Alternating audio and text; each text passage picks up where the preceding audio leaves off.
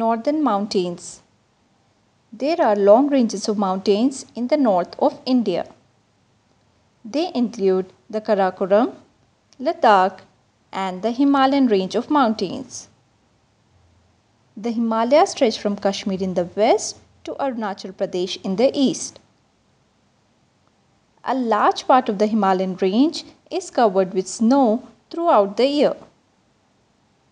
Because of this, the climate in this region is very cold and so the population is not very high. The Himalayan ranges run parallel to one another. The three Himalayan ranges are the Himadri which is the greater Himalayas, the Himachal or the middle Himalayas and the Shivalik which is the outer Himalayas. Let us begin with the Himadri. The Himadri is the highest of all the three ranges. Mount Everest, which is the highest mountain, lies in the Himadri. Kanchenjunga and Annapurna are the two highest mountain peaks of this range. Himadri is permanently covered with snow throughout the year. Next is the Himachal or the Middle Himalayas. The Himachal is covered with forest and beautiful valleys. Mussoorie, Shimla and Darjeeling are the beautiful towns of this range. The Shivalik or the Outer Himalayas. The Shivalik is the lowest range of mountains. The slopes of this range are covered with thick forest.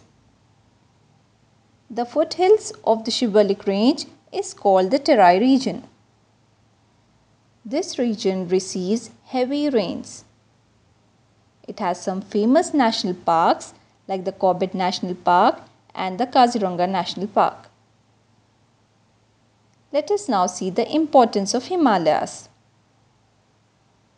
Himalayas are very important to us as they act like a wall on our northern borders and protects us from enemies. It brings heavy rainfall to the northern plains of India and also protects us from cold winds. The forests in Himalayas are the homes of several wild animals. So how is life in the northern mountains? The climate in the Himalayas is very cold and so it does not support the population. This means the population is not very high in the northern mountains.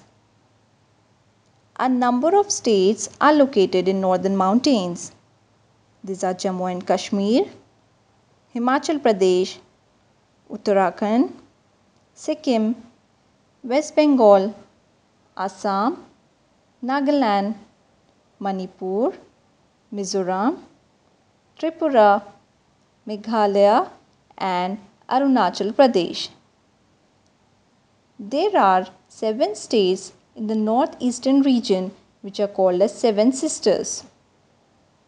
They are Arunachal Pradesh, Assam, Meghalaya, Nagaland, Manipur, Tripura and Mizoram.